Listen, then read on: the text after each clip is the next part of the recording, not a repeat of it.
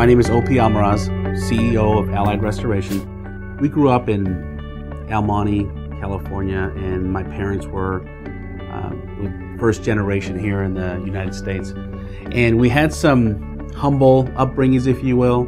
Some of the, the memories that I have that I think um, stick with me the most are my dad, he'd tie up our weekend with miscellaneous things to do, yard work, um, painting the house inside, outside, cutting trees, you name it. Back then, we resented it. All brothers, all of us. We just hated the fact that we had to work so hard.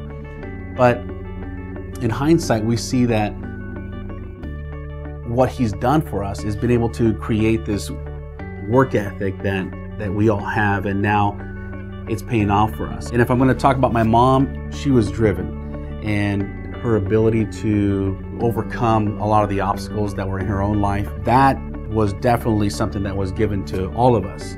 And so for that, we are indebted to her and my dad for, for our upbringing and what they've been able to contribute to, to our lives. I got started in this industry 16 years ago installing floors. I transitioned into working with a restoration company. And the most important thing that I learned which was also lacking in the industry, was great customer service. And that's something that Victor and I made it a point to bring to Allied Restoration. The ability to allow the customer to understand what's going on from the beginning to the end of each project.